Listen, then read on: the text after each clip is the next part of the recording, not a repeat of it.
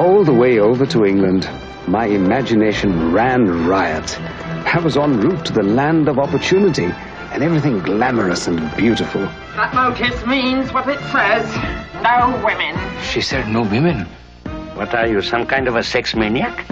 Victor Banerjee You ain't been dancing long, have you? in Foreign Body, a comedy of bedside manners. You don't look very excited. All he wanted was someone to love. Nora! All he got was trouble. Would somebody please get a doctor? I'll never know what came over me, but I suddenly found myself saying, I'm a doctor. It was absolutely marvelous.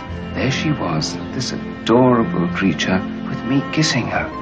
What happened? You're going to be a doctor, my boy. But I don't know anything about it. Half the physicians in Harley Street don't know anything about it either. This machine does wonders.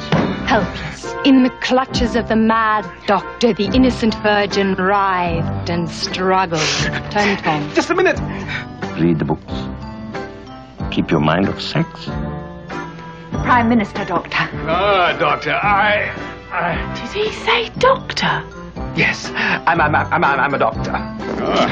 Oh, oh, ah. You're a fake. You are the blackmailer, huh? It was a bit of fun. Oh, ah. Sign it, ignorant pig. Ignorant. No, no, no, with your name, with your name.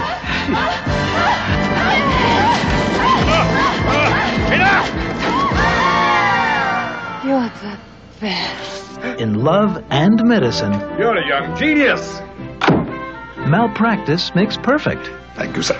Turn off that light, take off your dressing gown, and come to bed. Foreign Body.